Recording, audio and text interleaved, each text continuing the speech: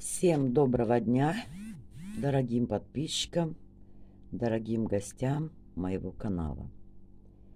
Сегодня я хочу вам показать, как я буду срывать первый огурец. Обещала к 1 мая вырастить огурцы на подоконнике. И вот он уже, вот огурчик наш. Вот он. Сегодня, прямо сейчас, я его сорву так как этот огурец забирает всю силу у остальных зеленцев. Здесь, видите, огурчиков очень много завязалось, но они почему-то приостановились в росте.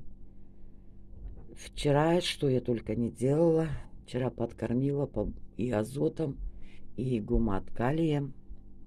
Буду ждать результатов.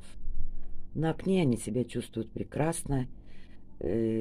Факт в том, что действительно на подоконнике можно вырастить в домашних условиях огурцы.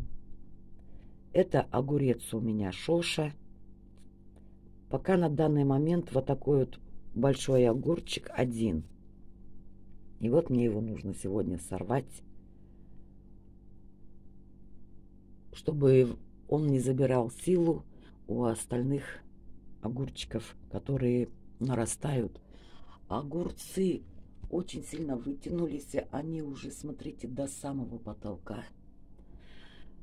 Как только они будут еще выше вытягиваться, я, естественно, буду их опускать вниз и кольцом складывать в емкость и присыпать землей, чтобы еще больше развивалась корневая система от стебля огурца.